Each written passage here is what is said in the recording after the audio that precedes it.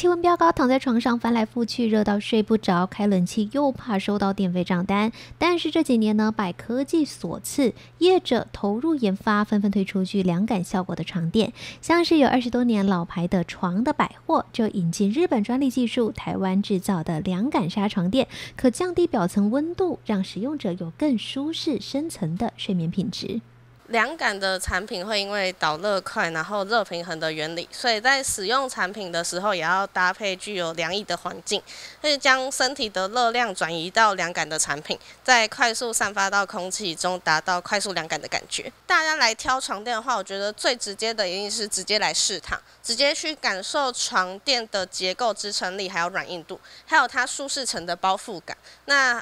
功能性的话，也是会依照床的表布不一样而有不同。那就是我们的售后服务的话，因为我们是直营门市，工厂生产床垫已经有四十年了，那门地在门市在地是近有二十年，所以我们产品的保修保固都没有问题。市面上常见的凉感产品主要分物理性和化学性两种。床的百货透过物理性凉感技术提高散热速度，民众可以再搭配循环扇或是电风扇辅助，就能让室内达到最佳温度，一觉到天亮。呃，凉感产品它是化学性的话，它是将布料纤维泡在化学液体，让布料纤维去吸收凉感分子，达成凉感的效果。但是它会很容易因为搓螺摩擦。所以造成效果的减弱。那物理性是提高布料纤维的含水量，然后再透过纺织技术提高散热速度，所以它会比较有长期的效果。那我们床的百货采用的是日本的专利技术凉感纱，